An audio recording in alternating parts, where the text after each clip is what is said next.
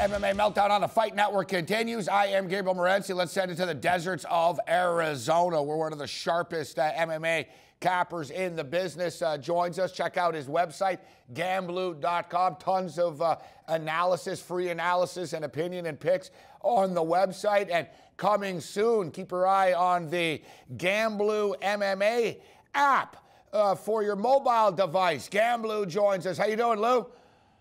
Doing real well, Gabriel. Uh, you know, we get to talk often on your show, and I just want to let you know how much I appreciate speaking with you and the gentleman at the Fight Network about UFC fights coming up. It's a it's a great privilege. I appreciate your time, uh, Lou. That's why we have you on so much. Everyone uh, you know, respects your opinion uh, so much. And I'm to tell you, I'm not a big app uh, guy. I got a few of them, and most of the apps that I have on my phone are uh, basically uh, for me to place bets.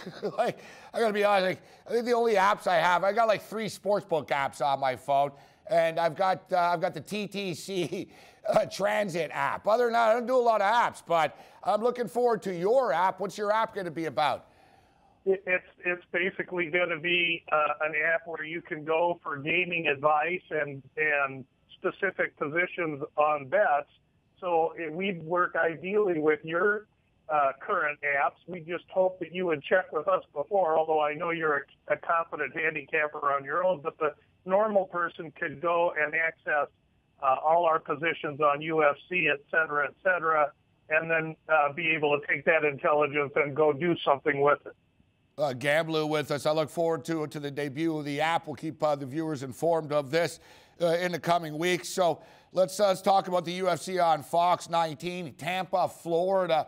And I'm not just saying this. I mean, you know, people know me. I've been doing this long enough that you guys know me. If a card is eh, I'll say the card's eh. You know, I've, I give my opinion too much, uh, actually. And I've given my opinion too much over the years. But this card, all I got to say is, holy crap, Lou. Like, you know, like normally we break this down. I'm like, all right, there's, you know, there's three, four interesting fights that maybe we'll talk about a fight because, you know, maybe we can bet on it. This card, man, it's freaking stacked from top to bottom. We can't even get to all the all the fights I want to get to. So let's jump right in and to start off at the top uh, here um, with uh, Glover Teixeira and Rashad Evans. Glover Teixeira is a minus 200 favorite. The over/under in this fight is three and a half rounds, um, shaded to the under minus 160. Rashad Evans has not won a fight, uh, Lou, since November the 16th, 2013 against Chael Sonnen. And let's be honest, uh, speaking to give me my opinion, Chael Sonnen rolled over in that fight. He didn't even try. He didn't care. Uh, it, was, it was a cakewalk. Um, you look at Evans, he looked real flat and bad against Ryan Bader. But with that being stated, you know, what, I don't know what to make of this fight. I'm, I, I think Teixeira is the play here, but I'm concerned that maybe Rashad shook off some rust after the Bader fight. What's your take?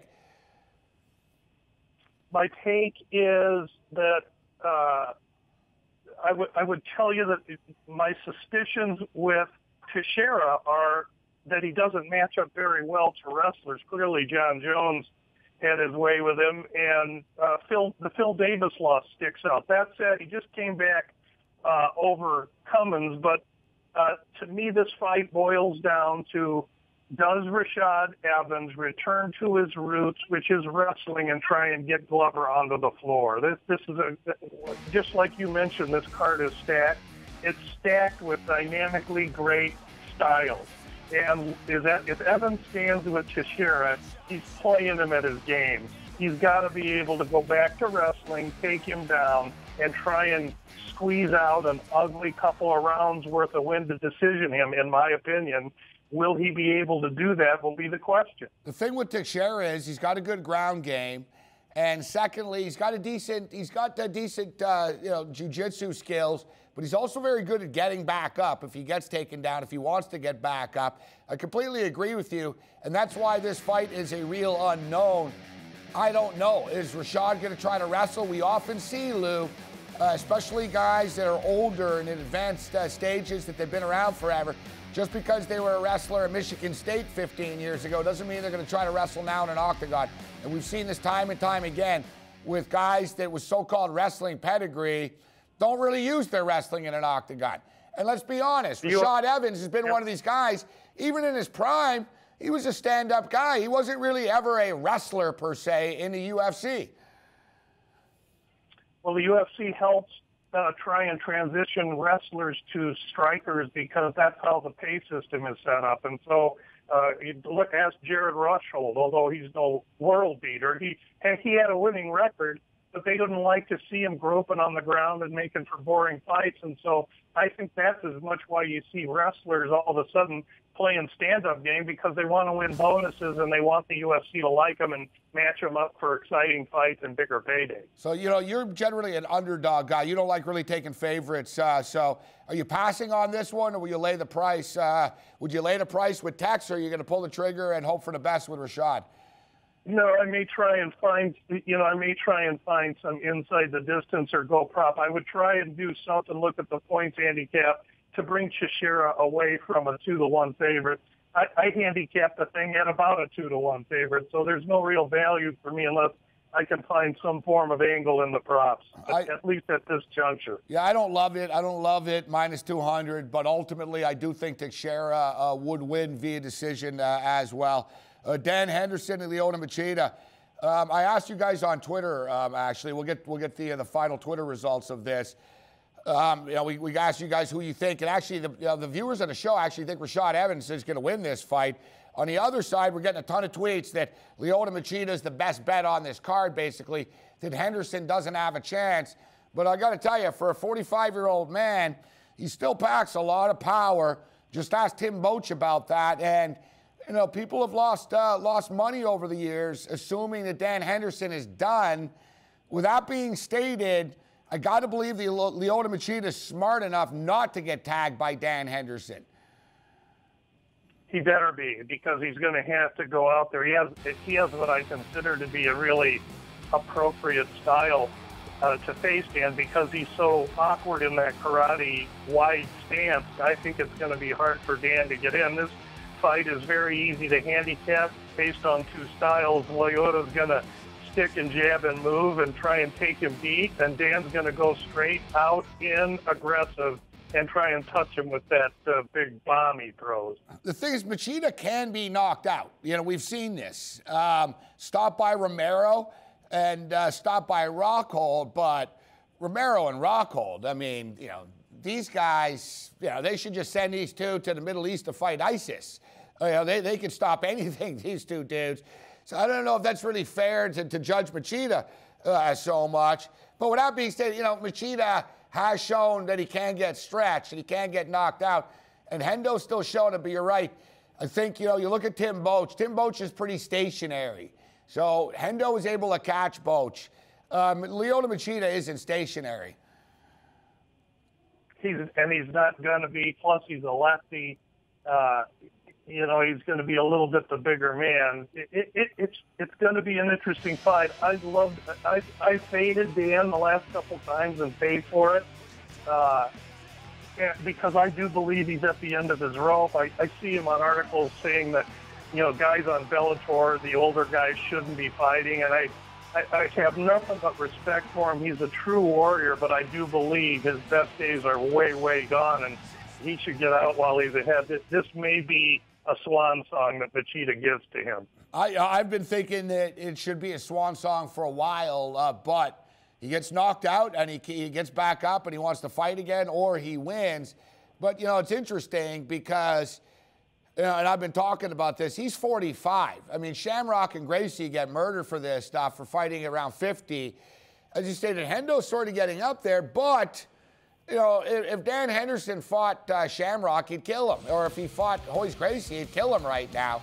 I think that he can still fight, but it's more disturbing that it that never seems like he wants to end. So I don't know what the end game is here, but I'm never going to tell another man uh, what to do uh, with their life. But our MMA Meltdown poll on Twitter, um, we had, you know, we just did this you know, recently, actually. We threw the question out, so we've got 34 votes. 82% of people uh, say Leona Leona Machida is the play here. Surprisingly enough, we got more votes for the Rashad Evans one. 50 50 right now, complete split in that fight. So let's talk about Rose Namajunas and Tecia Torres, in which we got a rematch fight here. But The loser of the first fight is favored in the rematch. Rose minus 215, Lou. Well, now you hit a sweet spot, Gabriel, because I, uh, as every day goes, the price on Tecia Torres, who won the first fight, grows, and she opens 100. Now she's plus 185. It would be an understatement if I told you that it does not have my full attention. And I consider Torres, she she knows, she's fully aware of what she's fighting for. Uh, I think that uh, Namajunas had a great past fight. She did a great job uh, in that last win with Van Zant, who I don't consider to be a very big test. And the fight before that was Angela Hill. So it's the loss to Esparza uh, that I'm looking at, and uh, I'm excited for this fight to come uh, because it's unusual that I would take the older, shorter girl with less reach, but in this fight, I think uh, Tecia Torres is going to be up for the task, and it's going to be hard to get me off her. Yeah, and it's pretty much a championship eliminator uh, fight. As you mentioned, Namajunas, she looked great against Paige Van Zant, but Paige was more hype than substance, similar to a, to a Sage Northcutt. Um, yet she's got a chip on her shoulder. I think she's you know, one of the best four and two fighters. Um, it's not often you get a four and two fighter that has as much skill as Rose. But Tecia Torres, as she did in the first fight, and Rose is basically calling her out for it this week. Not in a, you know, she's not trying to disrespect her, but she just said, you know, this girl really just tries to win via points. And it's frustrating to fight her and it's not entertaining. But, you know, if you're Tecia Torres, it's pretty freaking effective. The name of the game is not to get hit and to score as many points as possible, right? You know, it might not be fan friendly, but getting a woman who knows how to win, knows how to win rounds, and has already beaten an opponent is pretty tempting. But I, I was just wondering, is Tecia Torres, has she improved?